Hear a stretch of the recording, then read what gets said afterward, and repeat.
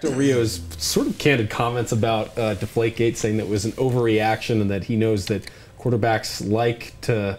Um, you know, control how the ball feels when they're handling it, and it just he said this right before Well, commenting yeah. uh, for dinner at USC, and I just He said it was overblown. Overblown, And and I used the same word to describe. I thought the handling of the story by the national media and the local media was overblown. However, I keep coming back to this. He broke the rules. Mm-hmm. There needs to be some type of penalty or punishment. Now, He probably broke the rules. Maybe he probably yeah. There's a preponderance of evidence, evidence. that he broke the rules.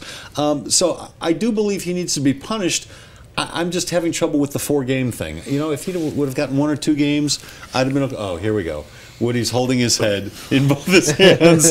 He, he disagrees. I keep saying over I'm and done. over again. I'm done.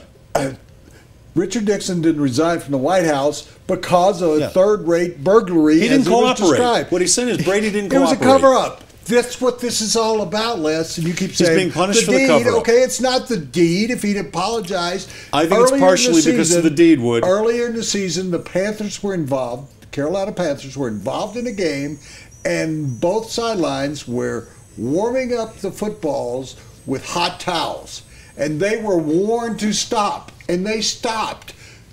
In the story about warning, the New England Patriots have a history Yes, of deviating from the rules. pushing the boundaries.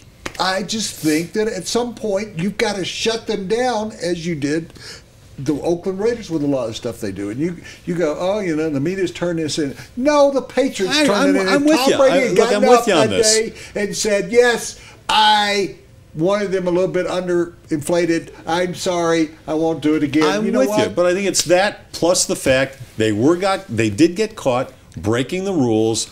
Therefore, he needs to be punished. And the NFL felt he wasn't cooperating as And much it was in the. AFC Championship. It wasn't Right. in the Jets Buffalo game in the third game of the season. Uh, so.